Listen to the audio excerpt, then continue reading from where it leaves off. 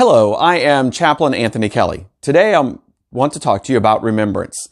This is a picture of my grandfather, Russell Kelly. Russell Kelly died a few years ago at age 93. I remember my affectionately called Papa, and I will always remember him for the, all the days of my life. In fact, I have ha- pictures of him throughout my house. Papa, whom I miss dearly, I want to remember. So it is with us as Christians. We, as Christians, need to remember Jesus. How do we do that?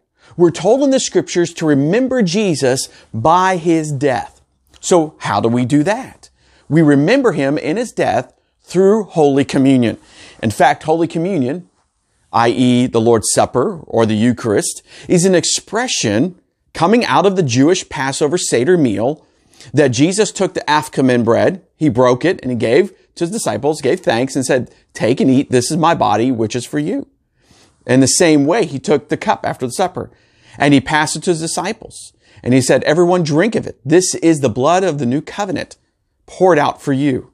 What Jesus is telling us is that in his death, on the cross, we are to remember him by the body and the blood of our Lord Jesus Christ. This is a remembrance. These two symbols of the elements of Holy Communion is an expression of our faith to remember Jesus Christ for all the days of our life until the Bible tells us he comes again. In fact, in 1 Corinthians chapter 11, the apostle Paul writes this, he says, For what I received from the Lord, I also passed on to you. The Lord Jesus, on the night he was betrayed, took the bread, and we given thanks, he broke it and said, This is my body, which is for you. Do this in remembrance of me. In the same way, after the supper, he took the cup. This is the cup of the new covenant in my blood. Do this whenever you drink it in remembrance of me. For whenever you eat the bread and you drink the cup, you proclaim the Lord's death until he comes again.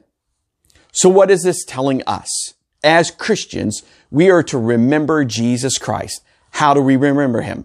We remember him not by just reading in the scriptures, yes we do, and not by just through prayer or in ex- other expressions of our faith, but namely as Christians, we are to remember Jesus through the partaking of the bread and the juice, the fruit of the vine, as a way of expression of our faith, our love, and our adoration for Jesus dying on the cross for us.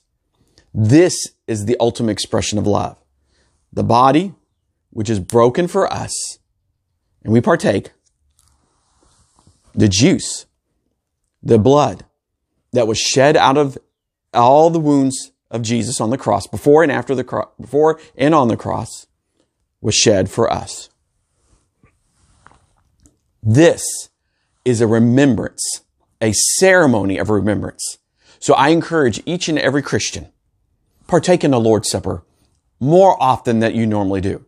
Many churches, many faith groups will practice in different odd times, whether it be quarterly, monthly, special holidays or holy days. But as Christians, the Bible tells us in Acts chapter 2, the early church partook every day. I encourage you to partake in communion at home with your family. Take it more often than you normally have ever done before. This is a special time where you can remember Jesus. Hang that remembrance, not just up on the wall, take it down. Partake in the Lord and in His supper and remember Jesus. All the great and wonderful things, the memories of Jesus. May you have a blessed day. Amen.